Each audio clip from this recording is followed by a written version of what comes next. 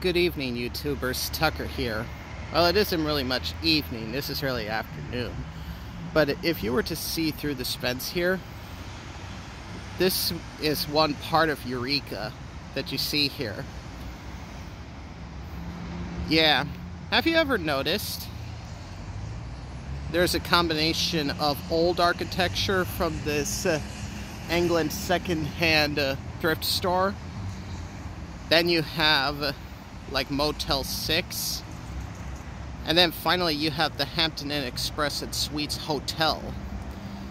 Eureka is a really interesting community at that it has a, a, combination of old buildings and new buildings. In many ways, Eureka is almost like an Americanized community version of Warsaw.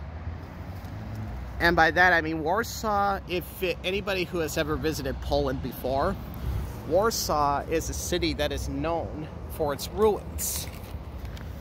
And like it has buildings that go from the Saxon times when Warsaw first became the capital of Poland up to World War II, up to when it was a communist state, up to the modern times. Well, Eureka here is no different. This is not staged or anything like that. What uh, is here is all genuine. In fact, Old Town Eureka is one example. Like this uh, whole city ranges from 1850s onwards in terms of its architectural history. And I think it is pretty cool and unique. So, hmm, yeah. Hmm. Take care, everybody.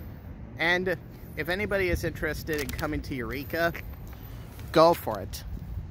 I think it is well worth the experience. So, have a good day, everybody.